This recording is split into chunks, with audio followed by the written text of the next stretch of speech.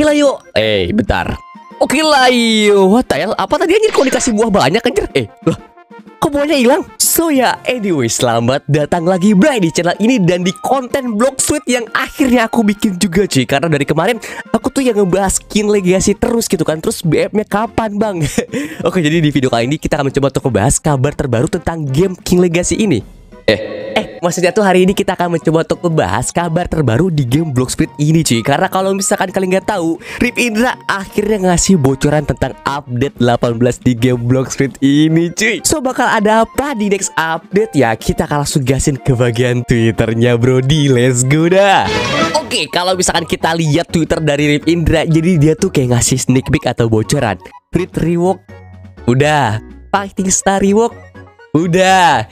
Sword Rewalk on progress bray. Let's go. Dan kalau bisa kita lihat uh, gambar ini kita bisa simpulkan dia akan di rewalk itu di antara dua katana. Atau enggak? Ya nggak tahu sih. Kayaknya emang dua katana gak sih cuy? Soalnya kalau misalkan kita bisa zoom gitu kan bentar kita uh, open image in a new tab dulu aja.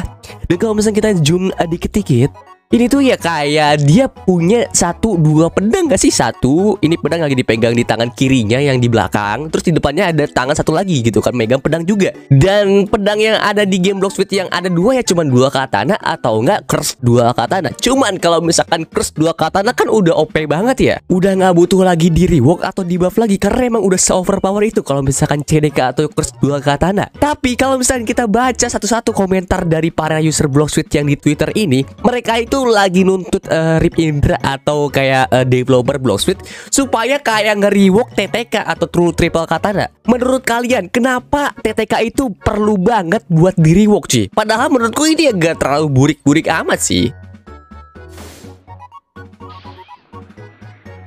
Iya sih kayak oke okay, emang susah buat didapetin ya karena kan kita harus AFK di server selama 2 jam atau lebih gitu kan berjam-jam kita AFK buat dapetin sword ini. Tapi kenapa TTK itu perlu di reform sih?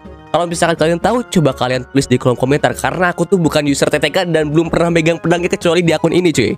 Dan kalau misalkan kita lihat uh, gambar yang tadi di Twitter gitu kan, ini tuh kayak merujuk ke salah satu sword yang punya dua apa namanya dua biji gitu kan, yaitu sword yang namanya dua katana cuy. Nah ini dia yang common yang kalau misalkan kalian pengen beli, kalian bisa pergi ke bagian Pirate Island di versi aja gitu kan, gak usah kayak pakai duit yang mahal. Kalau nggak salah cuma 30 ribu belly doang cuy. Dan kalau misalnya kita bisa lihat Gerakannya tuh beda sama yang di Twitter Seriusan dah Walaupun ini sama-sama punya dua pedang Tapi Lihat ini cuy Kayak dia tuh kayak apa ya Dua pedang kayak gini Terus diacungin ke atas ya kan?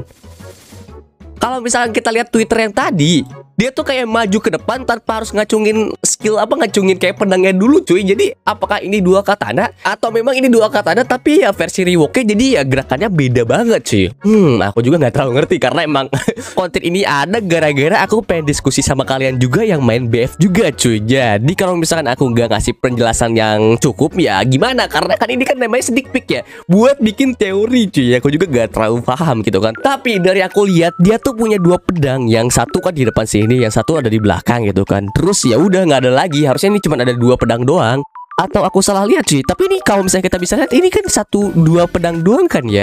Jadi menurutku ini ya bakal jadi dua katana yang kena riwo karena ya emang mirip banget skillnya gitu kan ke depan terus warnanya putih. Jadi ya I don't know man. Kita akan tunggu aja nanti kalau misalnya udah waktunya. Tapi kita akan coba untuk gacha dulu Brody. Karena ya aku masih belum sempet gacha di akun yang punya subbreaker ini coy sabar sabar.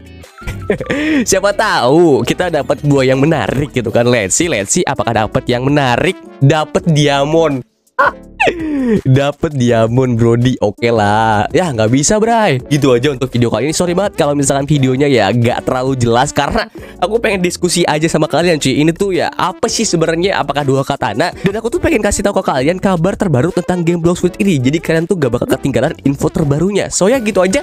Kalau misalkan kalian suka dengan video kali ini Jangan lupa tinggalkan like lo aja. Dan nanti malam kita akan coba untuk streaming lagi di game ini kayaknya. Kita akan coba untuk lanjutin progres Ceputu Suhu Tapi pakai akun yang yang Buyung Legasi. So ya gitu aja. Ya kita join kalau misalnya suka tinggal kalian aja stay semua Dan see guys in the next video lagi cuy Ciao semuanya.